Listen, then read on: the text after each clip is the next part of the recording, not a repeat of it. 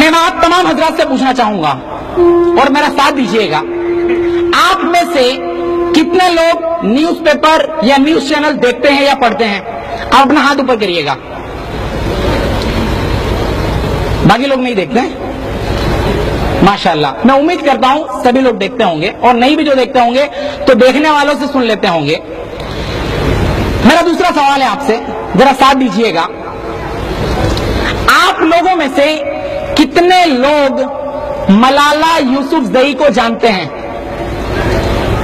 माशाल्लाह। मलाला यूसुफ जई को जानते हैं। जानते होंगे जो लोग मीडिया से अवेयर हैं। अच्छा मेरा तीसरा सवाल। आप लोगों में से कितने लोग मरवा अल शर्बिनी को जानते हैं? Hundred percent no. कोई नहीं जानता होगा। मरवा अल शर्बिनी को कितने लोग जानते हैं? यह है मीडिया। मैं भी आपके सामने बताऊँगा, क्यों नहीं जानते आप लोग? यह है मीडिया। मलाला यूसुफ जई पाकिस्तान की रहने वाली थी और तहरीक तालिबान पाकिस्तान, जो कई रिपोर्ट्स हमने पढ़ी, उसमें यह भी कहा जाता है कि तहरीक तालिबान पाकिस्तान सीआईए स्पॉन्सर्ड है। मैं उन मसले पे नहीं जाना चाहता। तहरीक तालिबान पाकिस्तान उस पर हमला करता है और उससे दो गोलियाँ लगती हैं। एक, गले के अंदर और एक सर के अंदर, लेकिन इंटरनेट के ऊपर काफ़ी सवाल उठाए गए कि गले के अंदर जो गोली लगी थी, सर के अंदर जो गोली लगी थी, वो कहाँ गायब हो गई और बहुत सारे फ़ोटोज़ आए। मैं उन मसाइल में नहीं जाना चाहता, लेकिन मीडिया ने क्या किया? 9 अक्टूबर 2012 को इसको गोली लगती है और पूरे नेशनल लेवल इंटरनेशनल लेवल के मीडिया में यह कोहराम मच जाता है कि मुसलमान दहशतगर्द होते हैं। मुसलमान औरतों की तालीम के खिलाफ हैं। क्योंकि 15 साल की एक बच्ची जो अपने स्कूल से घर की तरफ़ आ रही थी, बस के अंदर उसको गोली मारी गई, जिससे दो गोली लगी। और यूएनओ यूनाइटेड नेशन जो लाखों औरतों को रेप किया जा रहा है इराक के अंदर, हज़ारों औरतों को सीरिया के अंदर रेप किया जा रहा है। तमाम चीज़ों को सामने तो अपनी आँखें बंद की हुई है, लेकिन वही यूएनओ एक ऐलान करती है। कि 10 नवंबर 2012 के दिन वो ऐलान कर दिए कि हर साल 10 नवंबर को मलाला डे मनाया जाएगा। मैंने तीसरा सवाल आपसे किया था कि आप लोगों में से कितने लोग मरवा अल शर्बीनी को जानते हैं? और आई एम श्योर कि बहुत कम लोग जानते होंगे, और आप लोगों में से किसी ने फिंगर रेज नहीं किया। मरवा अल शर्बीनी, इकतीस साल की खातून, जो जर्मनी में रहती थी इजिप्ट की रहने वाली थी, मिस्र की रहने वाली थी, लेकिन जर्मनी में आ गई थी वो। एक फार्मासिस्ट थी, पढ़ी लिखी खातून थी। वो 21 अगस्त के दिन अपनी बेटी को लेकर एक प्लेग्राउंड में जाती है, अपने बच्चों को खिलाने के लिए, अपने बच्चों को खिलाने के लिए। वहीं पे एक और शख्स, जिसका नाम एलेक्स था, वो अपनी भांजी को लेकर जाता है। वो भी अपनी भांजी को खिलाना चाहता है। और अक्सर हमारे वहाँ होता भी है हम देखते भी हैं कि जब एक ही ग्राउंड हो एक ही चीज़ खेलने की हो तो बच्चे आपस में लड़ जाते हैं।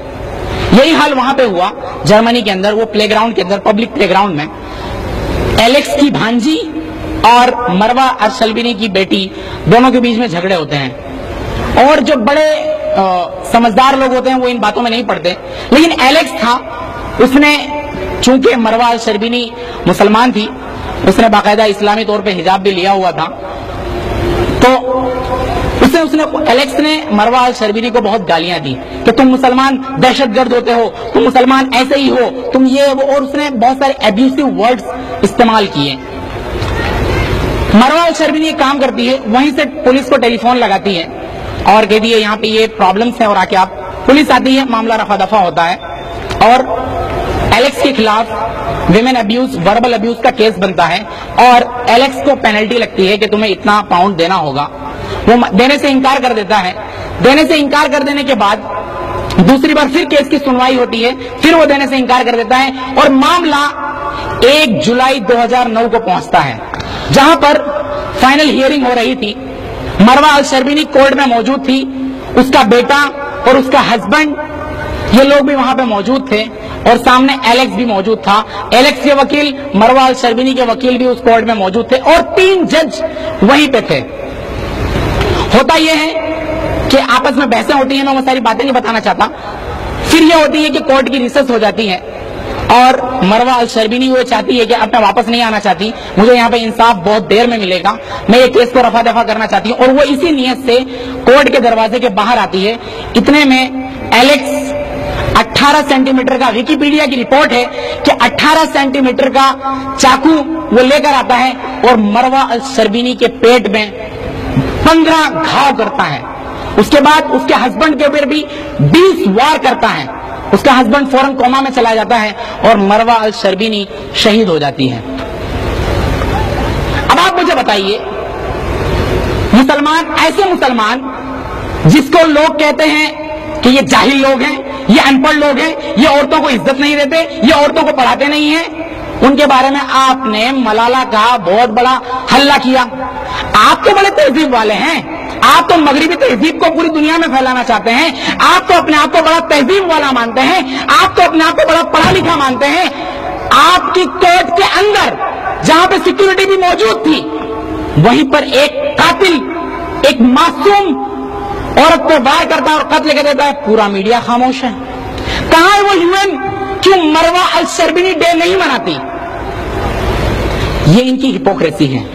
ये दोनों वाकयात बताने से मेरा मकसद ये सिर्फ़ यही था, एक बात को याद रखिए कि कोई भी मीडिया मुखलिस नहीं होता।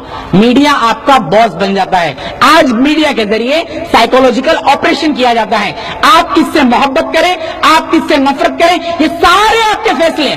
कोई नहीं करता सिवाय के मीडिया के। आप